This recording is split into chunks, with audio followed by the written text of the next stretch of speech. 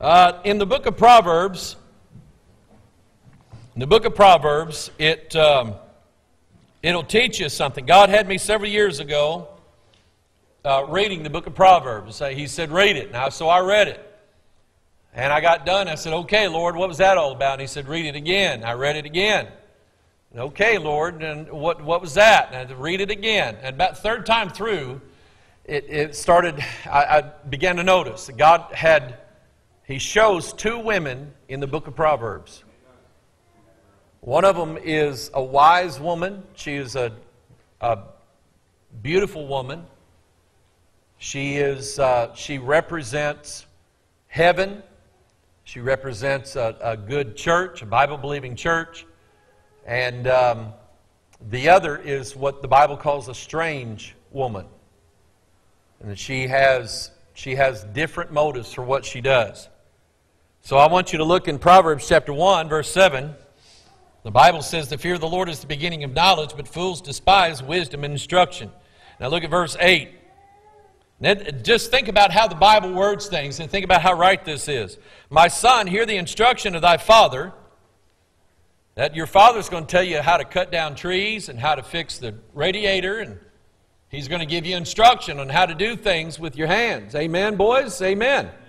But then he said, um, And forsake not the law of thy mother. Your mother is going to lay the law down. Amen to that. She's going to lay the law down. She's not going to. The only thing, really, my mother taught me Right before I went to school, right before I went off to college, she taught me how to wash my clothes by myself. Taught me how to iron my breeches and taught me how to separate this color from that color. And uh, I remembered that when I got to college. I just didn't care. I just threw them all in, washed them all at once, leave them in there for three or four days, hoping they'd dry themselves, which they did, but they smelled bad. And, uh, but anyway, it was the law of your mother. It's when your mother lays the law down says, Now this is how it's going to be, and who dares go against me? He said, Don't forsake that. He said, For they shall be an ornament of grace unto thy head and chains about thy neck. My mother said that she was going to wear it this morning when I was in oh, probably first grade, our teacher had us make out of paper clips and red tape these necklaces for our mothers for Mother's Day in school. And I took that home and was just as proud. It looked like a ruby necklace made out of silver paper clips. My mom has kept that hanging on her dresser. The clips are not silver anymore. The tape is still on there. And usually, when she comes for Mother's Day, she has that around her neck. That's good. So he says these are going to be a, uh, they're going to be an ornament of grace unto thy head and chains about thy neck. And look at, look at the beginning of chapter 2. My son, if thou wilt receive my words and hide my commandments with thee, so that thou incline thine ear unto wisdom and apply thine heart to understanding. Yea, if thou criest after knowledge and liftest up thy voice for understanding, if thou seekest her as silver. Wisdom is personified as a mother in the Bible. Isn't that, isn't that amazing? Wisdom and prudence and no nonsense living is personified as your mother in the Scriptures. If thou criest after knowledge, lift up thy voice for understanding. If thou seekest her as silver, and searchest for her as for hid treasures, then shalt thou understand the fear of the Lord and find the knowledge of God. So you just ponder that and think about that and pray about that. Now, turn over to um, turn over to uh, Proverbs chapter five. Proverbs chapter five. My son, attend to my wisdom, bow thine ear to my understanding. You young men, you boys, you listen to this. That thou mayest regard discretion, and that thy lips may keep knowledge. Now look at verse 3. Your mother is always going to be a good judge, ladies or gentlemen, of who you should be with. She's smarter. She can smell them coming a mile away. She can tell a wolf a mile away. Your mom is going to be a good judge of character. After all, she married your daddy. Amen? My son, attend to my wisdom. Look at verse 3. For the lips of a strange woman drop as an honeycomb, and her mouth is smoother than oil. A harlot woman, a strange woman, will say whatever you want to hear. That's churches that say whatever lost people want to hear. Amen? But her end is as bitter as wormwood, sharp as a two edged sword. Her feet go down to death, and her steps take hold on hell. Lest thou shouldest ponder the path of life, her ways are movable, that thou canst not know them. This is all this this is your mother trying to warn you about that huzzy that you're running around with, or those friends that you're hanging with. She's trying to tell you don't be around those kids. Don't, don't hang around those people. Don't date that girl. Don't look after that boy. Lest thou shouldest ponder the path of life, her ways are movable, thou canst not know them. Hear me now, therefore, ye children, and depart not from my word, from the words of my mouth.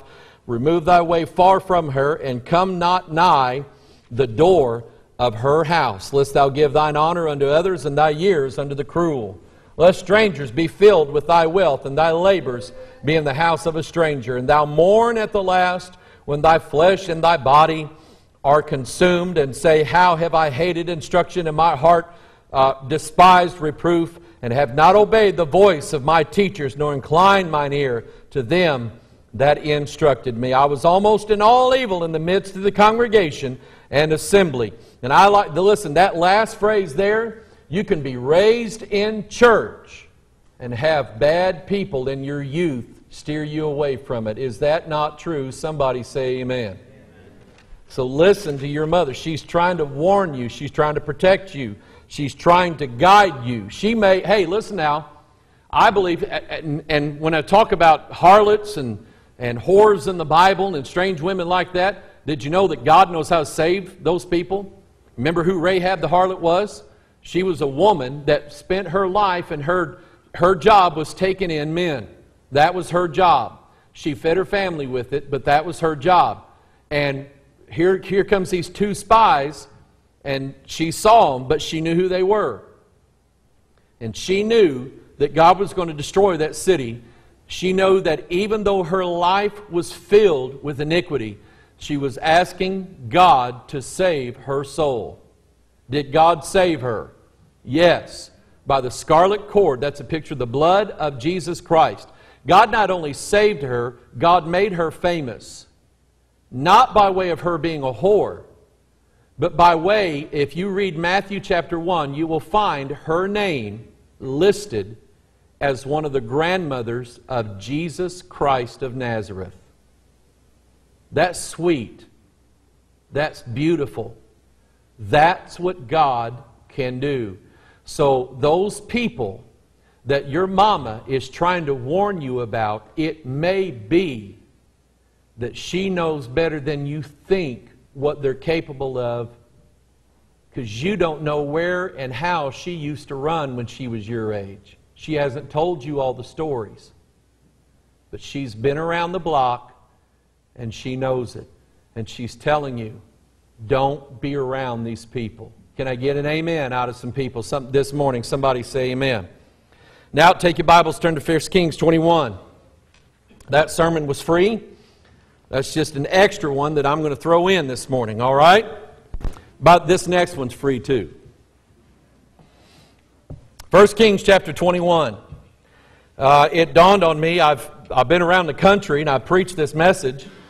I preached it down in Harrison, Arkansas. I had it preached to me years ago, was at uh, Liberty Faith Church down there, Brother Reg Kelly. It was, it was turnabout. I've had him come up here for a couple things, come up here for a revival meeting, came up for our God, Guns, and Liberty conference, and he called me when, when we come down a Sunday, and he had mentioned that maybe he'll have a little prophecy conference down there and have us down there.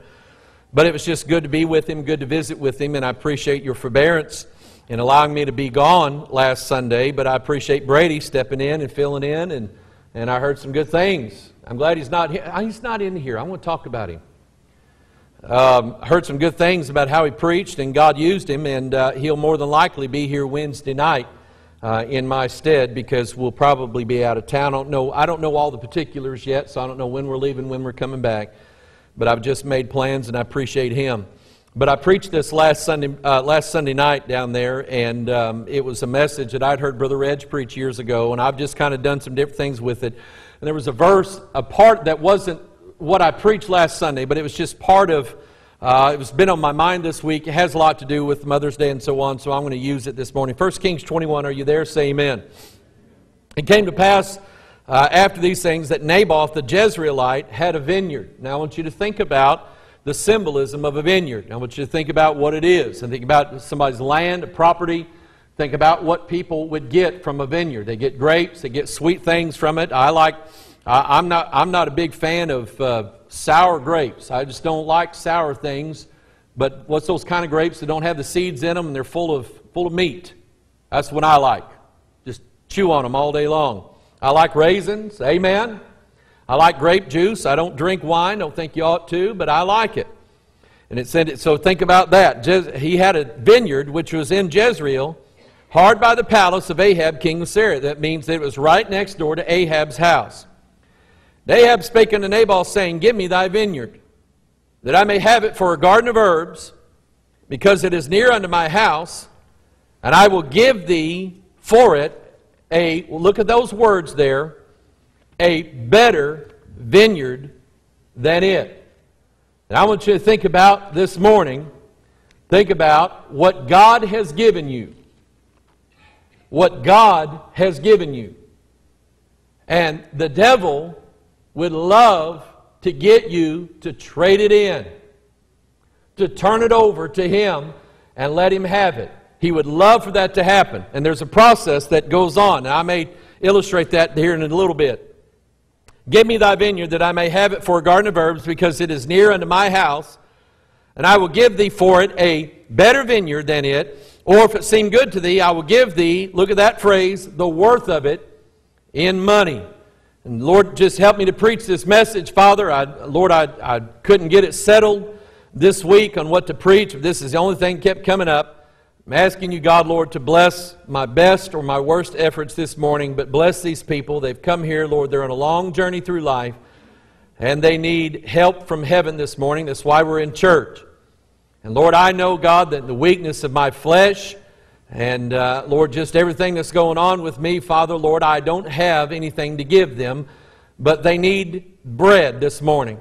And I pray, dear God, Lord, would you rise and would you give us bread that we may have it, Lord, for our journey that we can keep going. Lord, bless your people. Honor your word, God. Speak to our hearts and deal with us, dear God, about what is precious to us. We ask you this favor in the name of Jesus, our Lord and our Savior. And all of God's people said, Amen. I want you to look down in verse 5, and I want you to notice Jezebel, his wife. Nobody ever marries a woman named Jezebel. No one ever gives birth to a daughter and names her Jezebel. Usually that name is given probably about 15 years later. Amen? 20 years later, something like that. But that she was the original.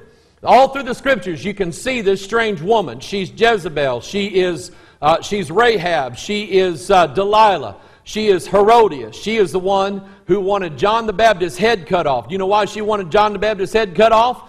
It wasn't because of his politics. It wasn't because he had money. It wasn't because anything other than he preached the word of God to Herod the king. He said, Herod, you got your brother, you got your brother's wife to, to be your wife. And he said, That's against law, and you're not supposed to do that. John the Baptist said what needed to be said because he was the man of God and he was just giving scripture out. And this woman hated his guts for it, and she said, I want John. She used her daughter, she used her daughter to dance seductively to her own husband. And while he got turned on by that, he, he said, he, he asked her, he said, You name anything you want me to give you, and I'll give it to you. And she went to her mama, and she said, You tell him I want John the Baptist's head on a charger. And that's what, that's what happened. And Herod, it grieved him in his heart. But he had already fallen in love with, this, with his wife's daughter and wanted her. That's strange woman for you. Somebody say amen. That's, and you know what? maybe 50 years ago, 100 years ago in this country, we would have went gasp, oh, oh, that's bad. Oh, who's ever heard anything like that? I guarantee you, we live in a world right now, that stuff's going on right and left. We live in a wicked, adulterous, perverse generation. Women are turning their daughters into whores and harlots and Jezebels and everything else in the world, and they need the gospel preached to them. Somebody say amen. Amen. But that's her. She runs all throughout the scriptures. You can see her. The culmination of her is Mystery Babylon the Great. She is the mother of harlots and abominations of the earth. If you want to picture that, go read Ezekiel chapter 16. Do that after church. Do that right before you have your Mother's Day dinner. All right? That'll, that might help you. But anyway, you see Jezebel, she said, his wife came to him and said unto him, Why is thy spirit so sad that thou eatest no bread? He said unto her, Because I spake unto Naboth the Jezreelite, and said unto him, Give me thy vineyard for money, or else if, I, if it please thee, I will give thee another vineyard for it. And he answered, I will, I will, I will not give thee my vineyard. Look at verse 7. Jezebel his wife said unto him, Dost thou now govern the kingdom of Israel? Arise and eat bread, let thine heart be merry. I will give thee the vineyard of Naboth the Jezreelite. Jezebel does not own Naboth's vineyard. How does she plan to get it? The Bible then will give you instruction on how she works. She thinks nothing about anybody else except her, her power, her gain, her control, her life, she operates behind the scenes. You know what she did? She wrote letters, not in her name, not in uh, signed Jezebel. She didn't put her seal on it. She wrote letters in her husband's name and had them sent all over the area saying, Naboth, he's, a, he's blasphemed God. We ought to kill him. She had him brought up. She had two false witnesses, the Bible calls sons of Belial, had them come up and testify against him and they killed Naboth, and she got that vineyard from him and gave it to her husband and said, Here you go. She's a thief, she's a murderer, she will, she will do nothing but to kill and destroy and to steal, and she's after your vineyard. That's her role. It took me years to figure this out. Lord, what, what is the role of Babylon? What is the role of Jezebel? How, does, how is it she works in a church or in a home or in a nation? How is it she works inside of a marriage? How is it that what, what is her purpose? What does she do? Here's the devil, and he wants what's yours. He wants your marriage. He wants your family. Hey, the devil wants your children. He'll use anything in the world to get to your children. The devil loves to sing songs to your children to corrupt their mind against the instruction of their father and their mother. Do you believe that? Say amen. The devil loves to write books and comic books and show movies to your children.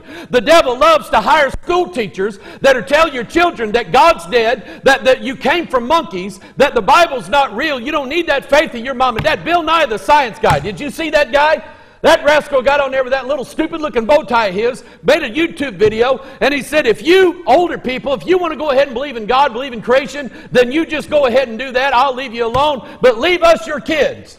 We need your kids to be engineers and physicists and scientists. We need your children trained right to know that they that they do, were not created by God. They do not have a purpose on this earth. We need to control your children's mind. That's what that little nice guy with that bow tie said. That is Mystery Babylon the Great going after your children to turn their head and their minds away from the Word of God. Is it working today? It's working. Some of you mothers, the doodads are to go up on your neck. When listen, if one of you moms saw some predator after your daughter, after your son, you'd go after that rascal. You'd want to kill him. You'd want to go after him and say, You stay away from my child.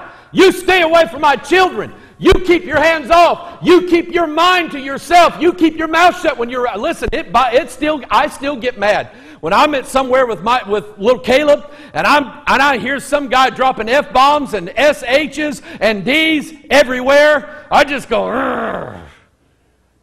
And if they're within earshot, I'll say, stop using that language around these children. I mean, they'll go.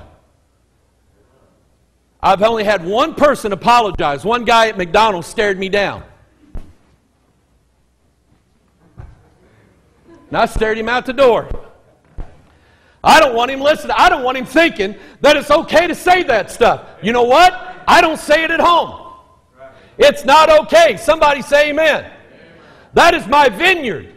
I am responsible for how fruitful that vine turns out. That is my work, my role, my job. If I preach to 100,000 people a month and I don't bless and be a blessing and a proper daddy to my own children, what have I gained? If I gain the whole world and lose the vineyard that I have at home, what have I gained?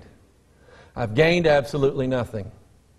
It's my responsibility to raise my children and to teach them the right way. It's my responsibility to be a husband to my wife. And she is as much a blessing to me. I want to be as much or more of a blessing to her. Those are my vineyards. Let me, let me give you a verse to help illustrate this. Turn to Psalm 128 if you would. Psalm 128. Title of this message is Don't Sell Your Vineyard, the Bethel version. So far in my notes, I've got Don't Sell Your Vineyard, the Harrison version, Don't Sell Your Vineyard, the Norwood version, and this, this is Don't Sell Your Vineyard, the Bethel version of it. And I, I am, I'm preaching it different ways in different places, but that's, you can do that with the Word of God. Psalm 128, verse 1 Blessed is everyone that feareth the Lord. Somebody say amen to that that walketh in his ways. You know what his ways are? You're holding them in your hand. That when it, that when it says don't go to the left, then don't go to the left. And by the way, your wife is better at that than anybody in the world. Don't, no, don't turn here. Don't, no, just go straight. Uh, pull over and ask that man there where we are.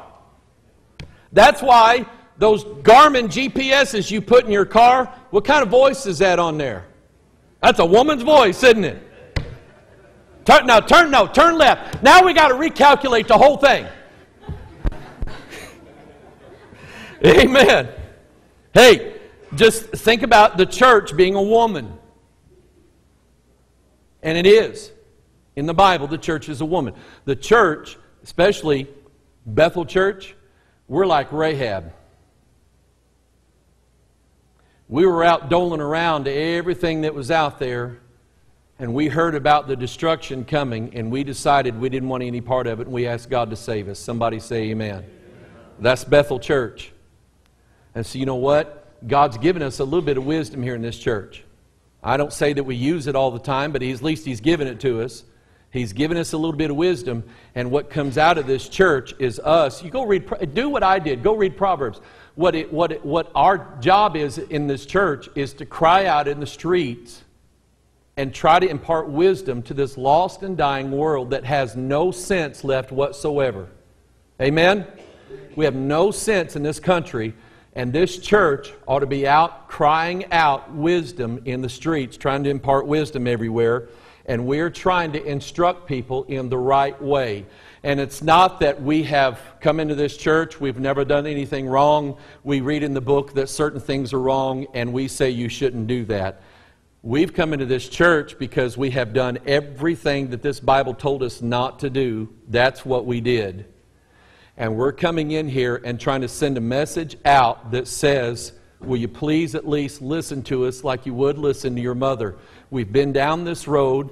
It's not any different now than it was 20 years ago. Sin is still sin, danger is still danger, and all of that stuff out in the world is dangerous and it's no good, and the devil wants to kill you. Somebody say amen.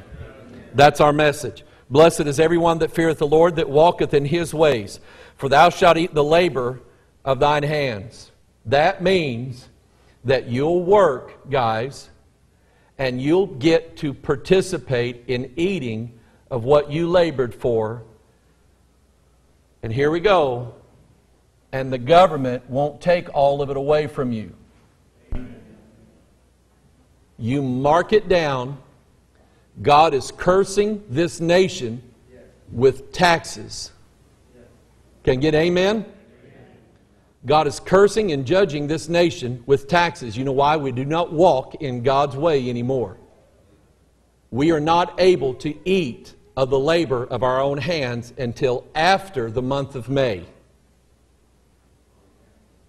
Everything that you earn, if you gave it to the government first, it would take you from January until May to pay off the debt to the government in taxes.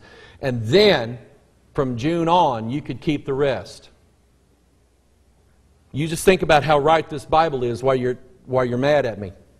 This Bible is right.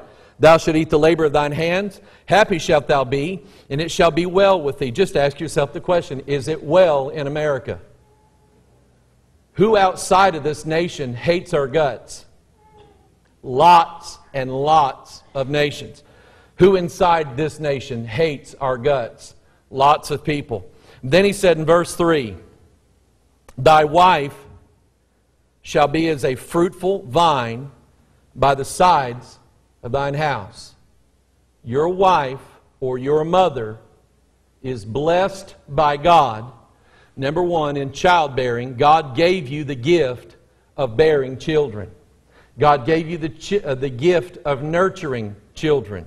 It is not for men to be nice to babies. I mean, when I was younger, I bent a little bit. I'm older. I come in here every day.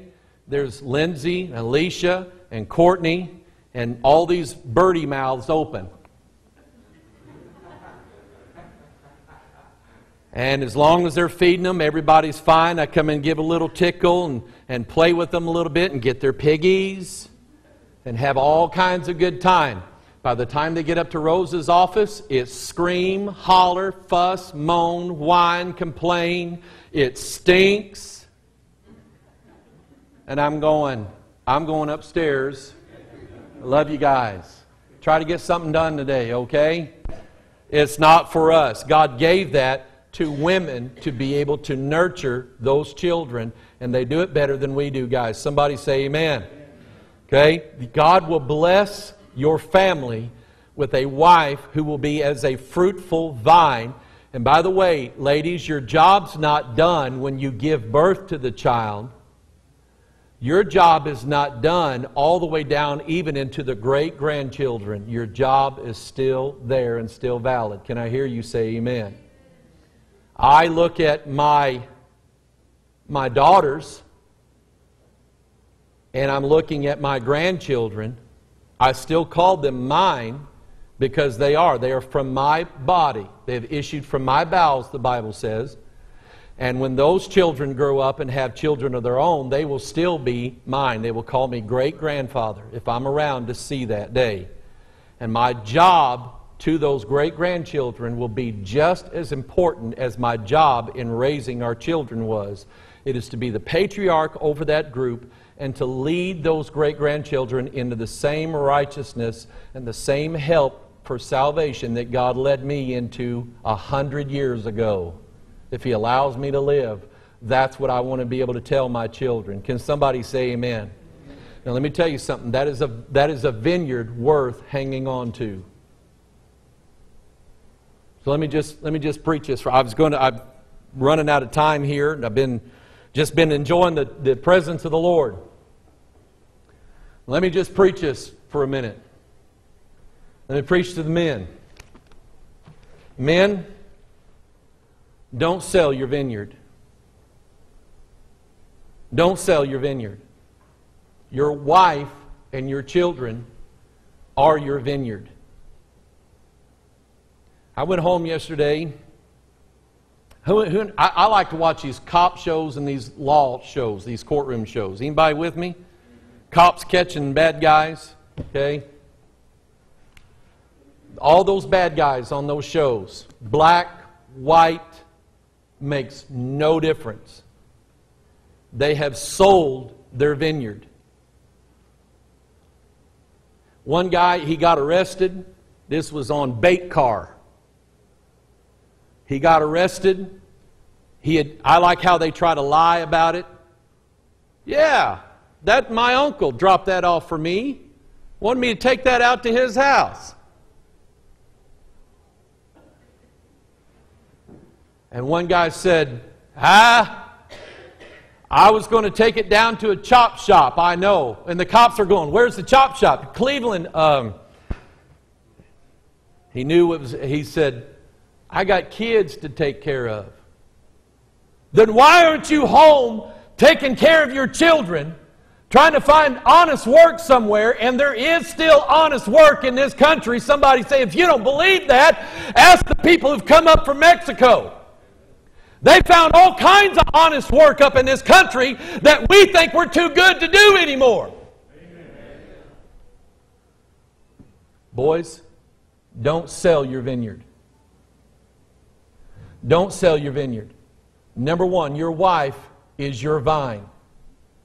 God will bless you, and she'll be a fruitful vine on the sides of your house. She will be the crown of your life. If you will live your life the way God tells you to live this life, and don't let Jezebel tell you that there is a better vineyard out there somewhere.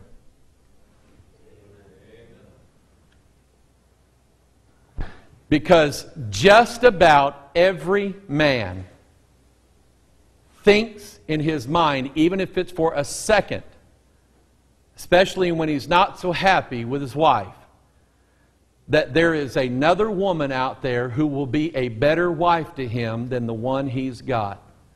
Don't sell your vineyard. Amen? My mom and dad by the grace of Almighty God, stayed together. I don't know everything about my mom and dad, don't want to know everything about my mom and dad. I do know that there was times when my mom and dad would be in serious talks. I don't know what out what about. I don't want to know what about. But I know that there was probably times when my mom and dad could have busted up. Maybe some of you sitting here today are from a home where mom and dad busted up. God, by His grace, kept my mom and dad together. And my dad, my dad, is in heaven today because even though he might have been tempted to sell his vineyard, he kept that fruitful vine by the side of his house. And it was my mother's testimony and my mother leaning on him and my mother praying for him that led my dad to be broken before God and say, God, deliver me from beer, from Mogen David wine, and from everything else that is killing me. God, deliver me. And God delivered my dad, and I'm, he is waiting for me when I get there by God's grace, my dad did not sell out my mother for a better vineyard. Don't sell your vineyard for money or for gain. I know God commands us to work and to labor and to work hard, and I think you ought to work hard. Amen? Because if you don't, you work less and demand more money, and then your plant will be shut down next, like Chrysler. Just ask him, guys, what happened to their factory. They worked less, demanded more. So who's building your cars? We're south. That's who's building all your vehicles. Don't sell them out for money. Ladies, the world we live in right now is just as much of a wicked draw to women as it is to men. By way of movies, TVs, music, and the internet.